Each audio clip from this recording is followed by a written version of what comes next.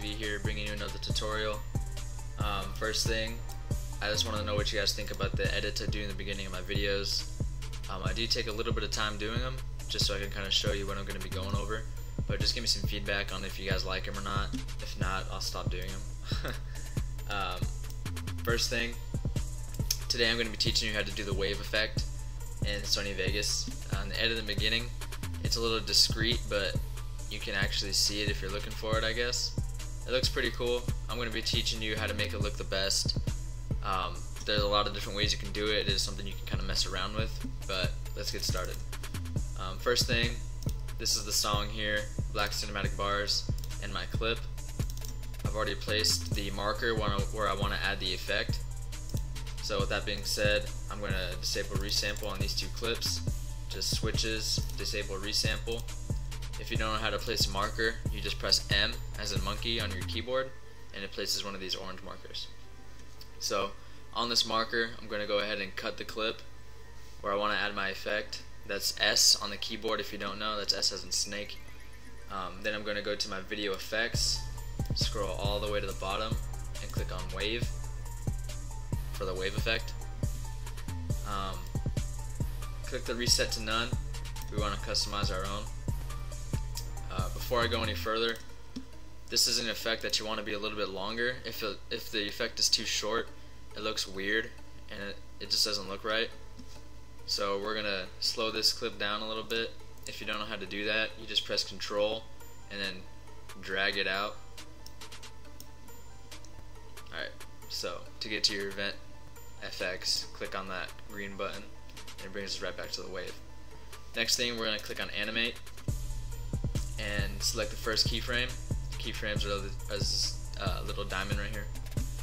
Um, first thing, you want to bring up the amplitude first. If there's no amplitude, there's no effect at all. Um, second is your waves. Um, that's the amount of waves that are in the effect. As you can see, there's a bunch of them and it looks super ugly. So we're not going to use that many. Um, you really want to use two or three waves four at the most. Um, for the tutorial, I'm going to use three waves. One, two, and then sort of a small one there, I guess. Um, amplitude, you want to be around the same as your wavelength. Amplitude is how high your waves are. Also super ugly if it's too high, so don't put too much. And then you also have your phase.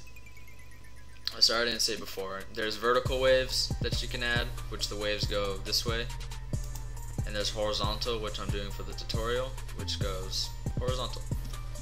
Um, but anyway horizontal phase is how the waves move. If it's too high it looks strange. I like to put it just above whatever these are set to. And then to get the actual wave effect if you don't use keyframes it's just gonna stay like this the entire time. If you want to have the actual effect go to the last frame and just bring all this stuff down let's see what that looks like.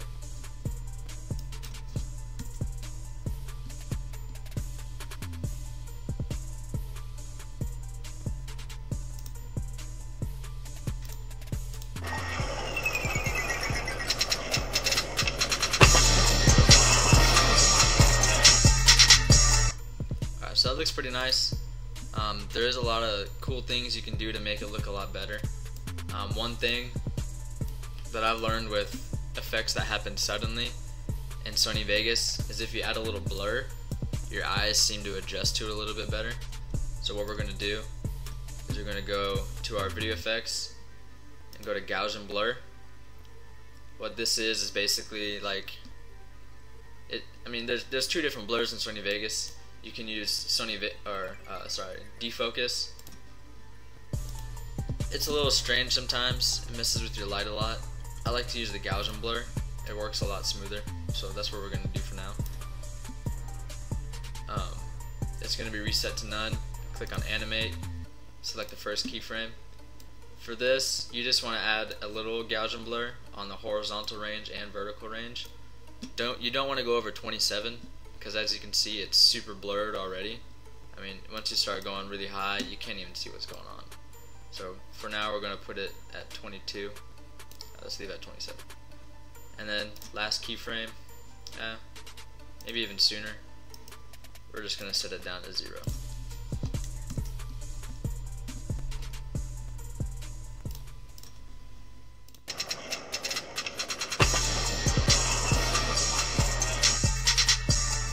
Alright, so that looks pretty cool. Um, some more things you can do with the wave effect. If you have a, a nice drop like this song does, you can add some event pan crops in there. Kind of give it a little shake. So we're gonna go to event pan crop, first keyframe. Make sure this is selected, or else you'll get something like this, and it's really ugly. So make sure this is selected. Bring it in a little bit. That'll give the effect a little bit of a pop. And what we're gonna do is we're just gonna add a couple shakes maybe five frames in or so I, I just lost count already but I'll add another one and then last keyframe we're gonna restore it so that it pans back out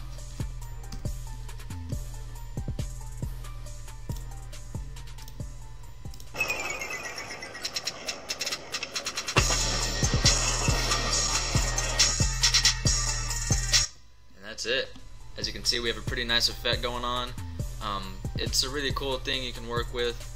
There's a lot of different things you can do with it, just kind of play around. Um, but aside from that, super easy tutorial, super quick. Hope you guys have a lot of fun with it. Go ahead and leave a like and a comment and a lot of feedback. And hopefully, if you guys like my tutorials, I'll keep making them. Oh, one more thing before I leave.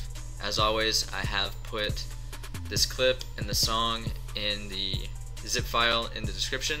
Just click on the download link and you guys can grab that. Thanks guys. Bye.